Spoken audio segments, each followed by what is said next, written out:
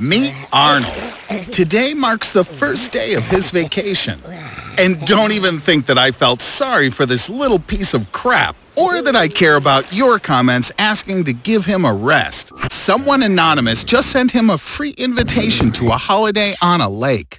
Hmm. It's a really nice place and quite suspiciously familiar. Holy crap, Polly! It's Jason Voorhees! Jason is a seven-foot-tall madman with a tremendous craving for violence. Trying to run away or hide is useless. He has an inexplicable ability to suddenly appear behind his victim. Attack is the best form of defense. Set a trap for him. After being struck by lightning, Jason became super resistant to damage, but he still has no chance against a saw. Good lord, Arnold, you're like a monkey with a hand grenade. I can't trust you with anything. What a twist. Jason probably didn't want you to die in any possible way, except from him. Why are you acting so happy? Voorhees always resurrects, so you need to quickly come up with a plan B. If he can't be destroyed, then you have to limit his ability to move. You could pour concrete over his legs, and then he won't be able to follow you. Though there is one problem. Concrete needs several hours to harden. You just have to keep Jason in view and damage his limbs every time he starts to heal. You are now together forever. Aim at the knees, Arnold. The damage will be more serious and recovery will take longer. I don't understand. What's happening? Arnold, I am your father.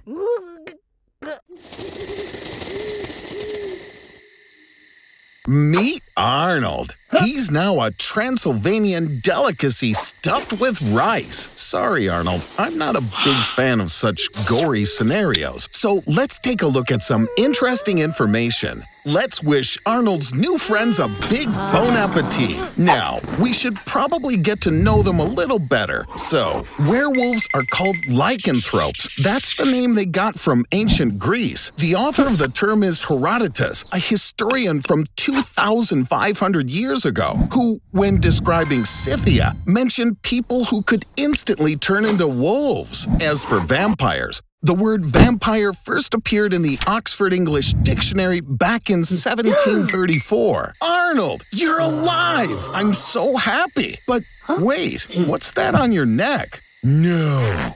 You gotta be kidding me! You're actually the first person ever to get bitten by both a vampire and a werewolf at the same time. I'm already wondering just oh. what the heck you're gonna look like. Well, you try to figure out how that's gonna work.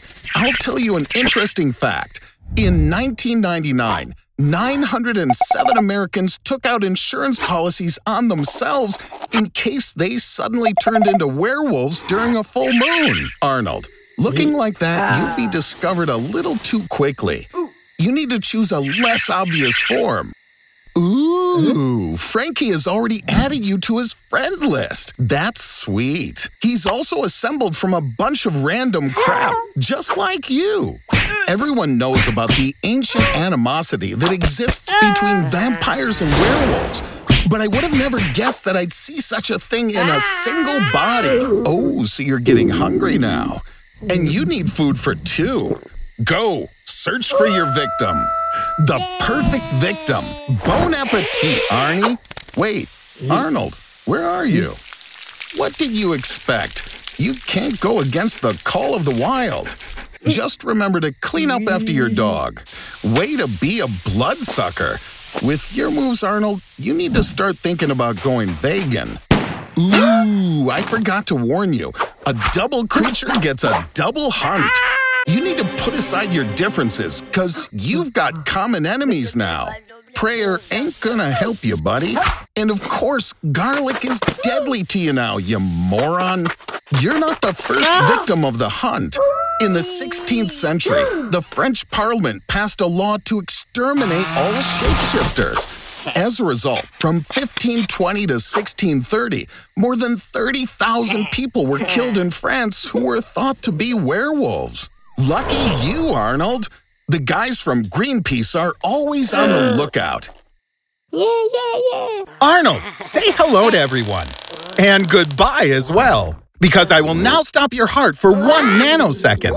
Calm down, Chucklehead. This is all for the sake of science. The heart is a pump that makes blood move all around the body at a speed of about 25 miles or 40 kilometers per hour. The path which the blood travels through is more than 100,000 kilometers long. And if all these vessels were laid out in a single line, they would wrap around the globe twice.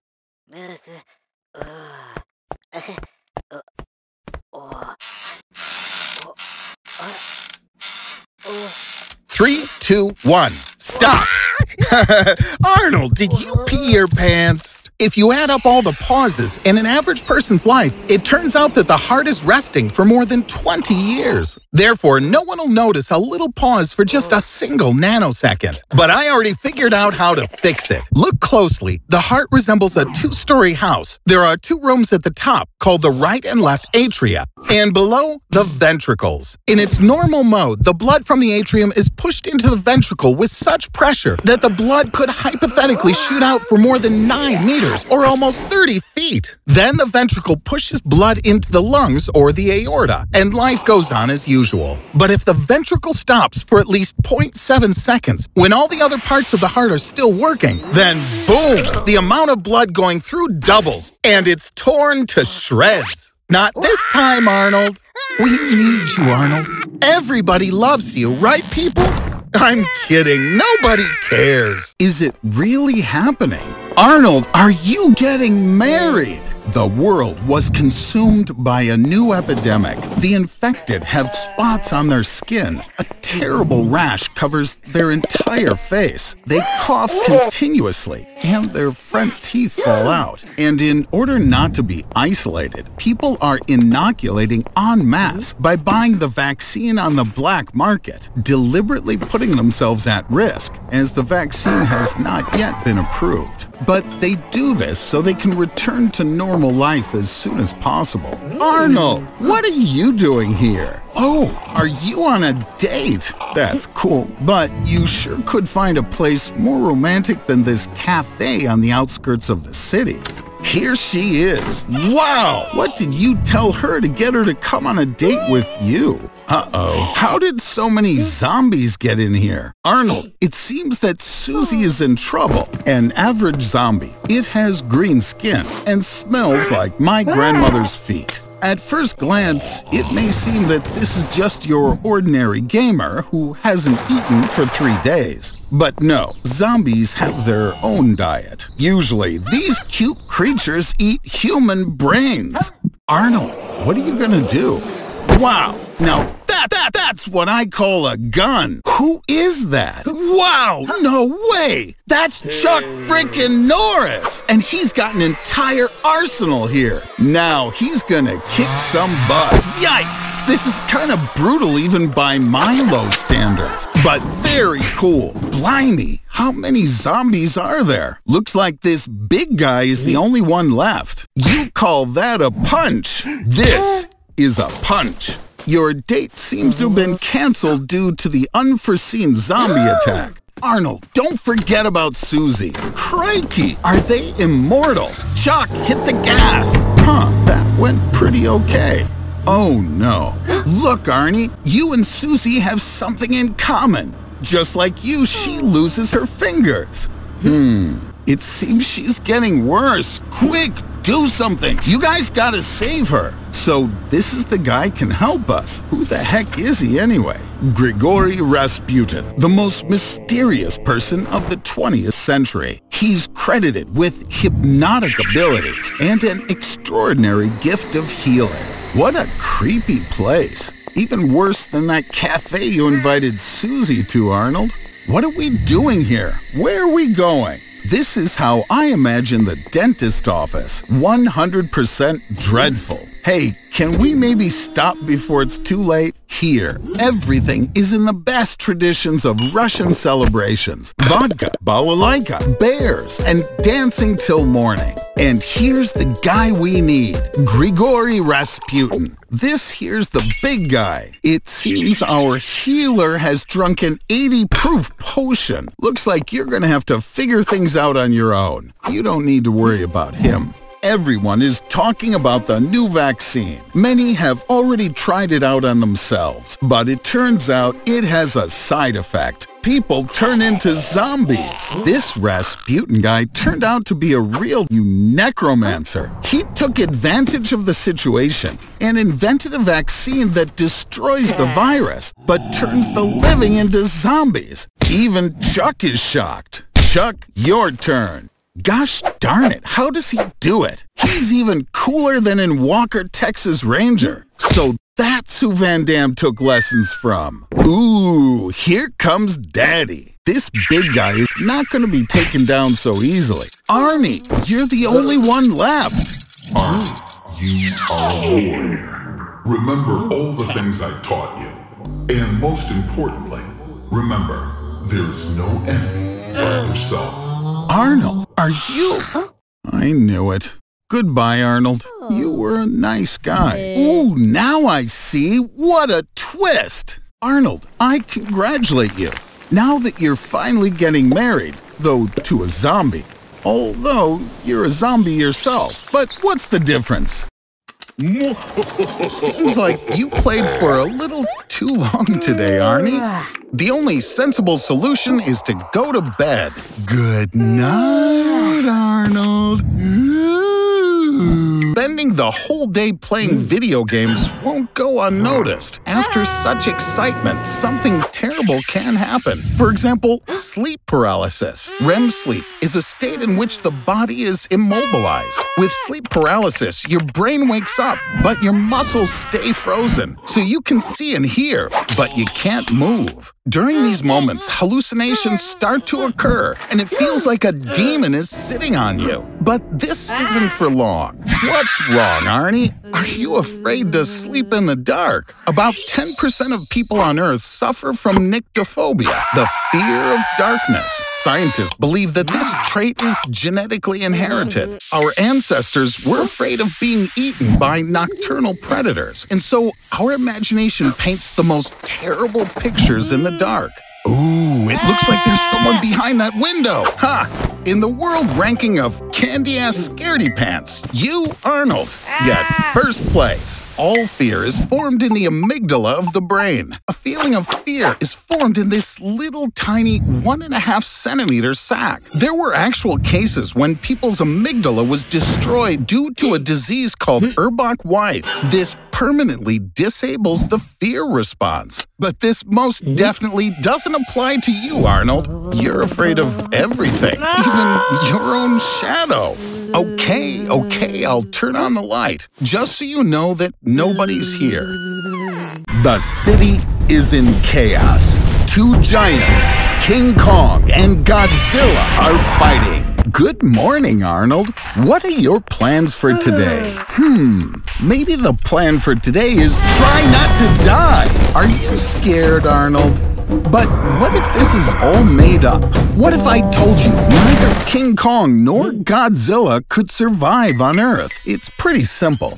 Look, the largest man in the world ever was Robert Pershing Wadlow. His height was 2 meters 72 centimeters, and he lived for just 22 years. He suffered from a disease called gigantism. With this disease, the brain releases excessive amounts of growth hormone. Therefore, in the process of human evolution, the norms for height and weight were established, and any large deviations are considered disease. One of the biggest stresses is to the heart, which has to circulate 15 liters of blood instead of just the normal 5. And the heart often can't withstand such strenuous dynamics for too long. But what about the fact that there are other giant creatures on Earth, like whales?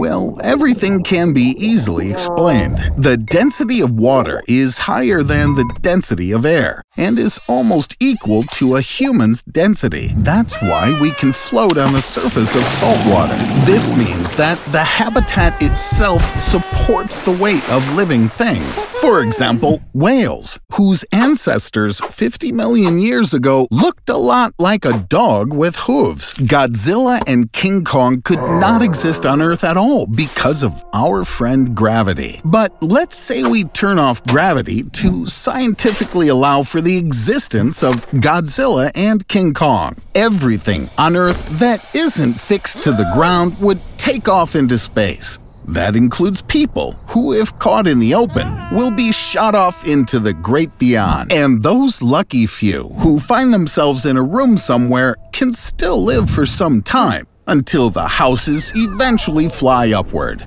And in the end, our planet will completely crumble into pieces. Therefore, in order to destroy the Earth, you don't need to wait for a fight between two giants. You can simply turn off gravity.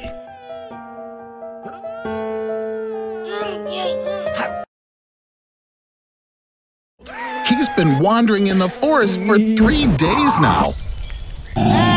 All because he wanted to save money on a taxi.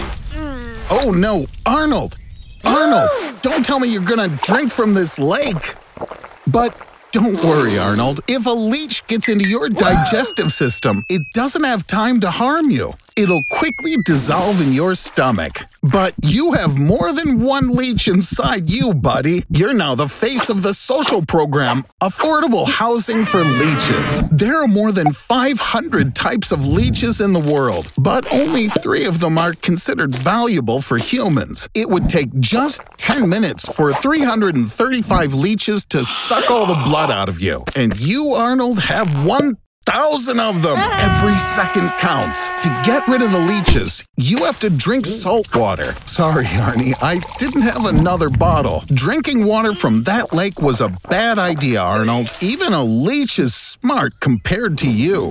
Its neurons were used for a biological computer called the leechulator. It can add prime numbers, and you can't. But don't go rushing to celebrate, Arnold. It seems you've somehow attracted the attention of some really dangerous little dudes. I understand it's hard to believe, but you better not move, buddy. Arnold, let the bees bite you.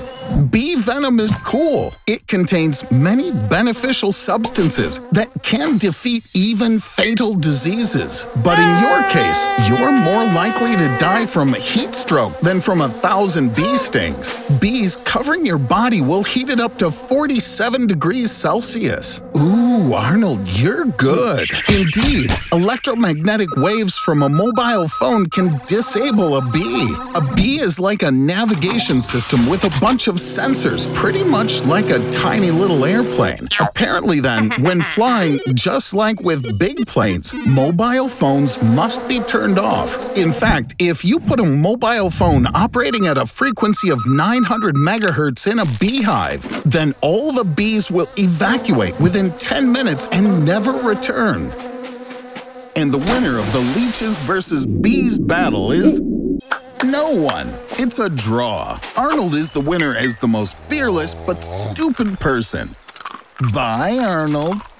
Hello, Arnold. Today you're gonna fish on the banks of Sentinel Island, but don't you dare set foot on land. Arnold! Congratulations. You're now in the clutches of the wildest and most hostile tribe in the world, and they don't like guests very much. I'm afraid they're gonna eat you. From your skin, they can make eight drums. From your veins, five bows. And from your empty skull, a big mug. And your scalp is gonna decorate the chief's body. Arnold, where are you going? Wow, I didn't think aliens really existed. These guys are going to do something really useful with your body. Your body consists of 70% water, 24% organic matter, and 6% inorganic substances. In a cucumber, there's also a lot of water, about 85 to 90%. So technically, you're a very emotional cucumber. From the remaining 6% of inorganic elements, many useful things can be created. In your body, there's enough iron to make a nail 6 centimeters long. Your body also contains enough copper to make a pair of headphones. And all of this while you still remain alive. You can even remove most of your internal organs and still go on living. The human body seems fragile, but you can live even without your stomach, spleen, 75% of your liver, 80% of your intestines, one kidney, one lung, and almost every organ located in your pelvis and your inguinal cavity. Of course, you'll hardly be like a cucumber, but it won't kill you, and you will have those free headphones of somewhat dubious quality. But these are all useless things. In fact, the composition of your body includes carbon, hydrogen, sodium, and oxygen. All these chemical elements are also part of dynamite. The hidden explosive power of the human body is equal to 175 grams of TNT. In fact, the strength of the explosion will be in direct proportion to how much you like salty foods during your life. He's been working as a courier for two days. Arnold, how was it bad working for me? Every time it was a new adventure for you. New places, new emotions. It was fun. Yeah, your finger came off a couple of times, but we sewed it back on, didn't we? So, where are you taking the delivery? To the Mariana Trench. It must be fifth graders trolling you, Arnold. Come on, come back. You are a stubborn one. Okay, climb inside. This huge transparent pipe reaches the bottom of the Mariana Trench. You'll have to go down 36,070 feet. It sounds like it's incredibly deep, but when looking at the whole planet, the Mariana Trench is not even a pothole in the road. In a sealed high-speed elevator, the trip to the bottom would take just 11 minutes. What an ignoramus you are! Now you have to get down manually. Due to the fact that the pipe is filled with air, the pressure at the very bottom will be only two times higher than normal. But if it gets filled with water, the pressure will increase 1,072 times. Just look at what cold, pressure, and lack of oxygen did to the local inhabitants. For example, xenophyophores had to develop immunity to uranium, mercury, lead, and other hazardous materials that would destroy any other creature on Earth. Looking at such unicellular organisms, an idea appears of how life on the Moon, Jupiter, or even Europa might look. Arnold, do you know what really awaits you at the bottom? Loneliness. There's not a single living soul, except for perhaps a lost shrimp. It's hard to believe it, but more people have visited the moon than the bottom of the Mariana Trench. Arnold, look, there really is someone out there. I wonder how he'll pay you. With shells? The journey back will take at least 24 hours. Or you can just open the latch.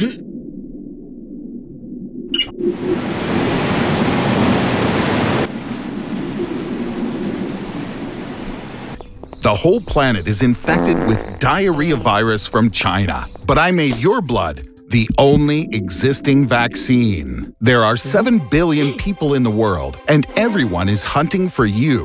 195 countries have posted your photo on all possible media. You're in all of the police databases, and not only the world's police, but all the best special forces in the world are after you. Do you really think you can hide from all of them? You're on every single smartphone in social media. You become more popular than Greta Thunberg. I'm sure she envies you now. After all, you can actually help save humanity. Just give them your blood, all the way down to the last drop. Elite special forces from all countries are already coming for you. U.S. Navy SEALs, the French National Gendarmerie, Chinese snow leopards, but of course, even a random student could catch you. Big Brother is watching you. In New York City alone, there are about 20,000 surveillance cameras. They take photos, compare the distance between the main features on your face, nose, eyes, mouth. Data is converted into a person's numeric code, a face print, and verified with the database. In addition, on the darknet, anyone can buy image databases from video cameras of cafes, hospitals, shopping centers, even near the main FBI headquarters, meaning they can find out where you were just five minutes ago. Catch this these glasses with built in infrared LEDs will help you to hide your oh. face from the cameras. For them, your face will look like a glowing blind spot. Wait a bit, you forgot the battery. This isn't enough.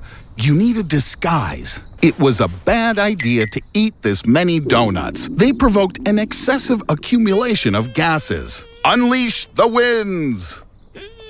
You look good, but search dogs will find you by the smell of butyric acid, the odorous component of your sweat. It won't help that just one gram of sweat is enough for the dog to smell you on the roof of that 10 story building or at a depth of 15 feet under concrete. In the United States alone, there are nearly 7 million drones. Stop waving and take this special weapon against drones.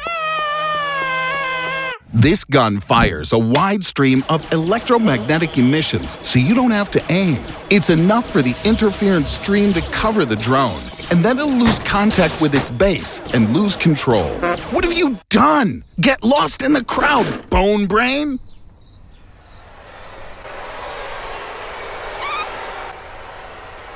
Mm. Well, you have to kiss.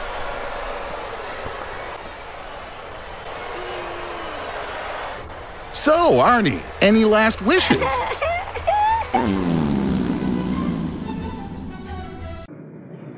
Meet Arnold. After tasting the foods of Asia and Europe, he returned home to try something even more exotic. Get your ass down here and choose what you'll eat first. Come on, Arnold. Eeny, meeny, miny, mo.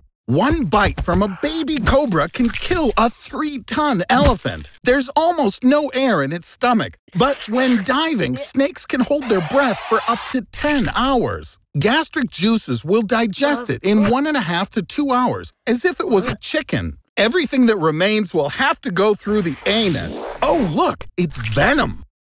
If it doesn't contact with your blood, it can't harm you. What the hell? Though as soon as it gets into an ulcer or a cut, the venom's effects are instant. Paralysis, convulsions, and after 15 minutes, you're a goner. But only if you don't use an antidote. Okay, who let the frog in? One gram of Phyllobates terribilis venom can kill a whole city worth of people. Should a small animal step on the trail of this frog, the toxin will kill him instantly. Even if you get a small drop of the poison on your skin, boom, you're dead. The frog will pass out 30 seconds after getting into the stomach, and 10 minutes of painful death will be waiting for you.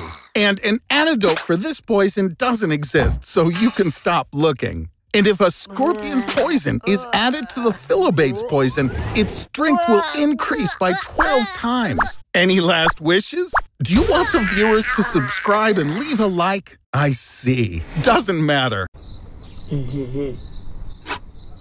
Incinerating ants, are you, Arnold? Does this make you feel like a god? You underestimate the enemy. Wow, what an irony. The hunter has become the prey. Arnold, congratulations! You're now at the center of the most colossal war, on a scale larger than all the wars of humanity combined. Ten quadrillion ants participate in it. Have you ever even seen such a number? And what numbers have you seen? Oh. Look over there. The ants are preparing for battle. If ants became human sized, then humanity wouldn't stand a chance. After all, even an ordinary ant would be able to lift a 16 story building and run with it on its back at a speed of 55 kilometers an hour. And here come the guests. Um, run maybe, Arnold? Oh, Arnold, coordination in space has never been your forte. Although, look, you made them run in a circle and pointed the leader at his own pheromone trail. If this happens to ants, they fall into a death trap. You created an ant swirl. The leader will now hit his troops in a circle until they all die from exhaustion. You're a hero for these guys, Arnold. They want to introduce you to the Ant Queen. But what is this? Oh, you've got to fight for power. Sometimes a second queen may appear in the anthill. As a result of that, the two queens hold a duel between themselves, deciding who will get to rule the anthill. After the fight, the ants determine which queen they like the best. True democracy. And then the majority destroys the minority. I take my words about democracy back. Watch out! Arnold, you're truly lucky. You managed to survive even a coup d'etat. But what is this? You're saturated with the smell of corpses, and now the ants all see you as dead. Therefore, they're gonna bury you alive. Arnold was a useless schmuck. May he rest in peace. The effect seems to have passed. Hi, Arnold. Well, now you know more about the world of ants, and therefore. What are you doing? Ah,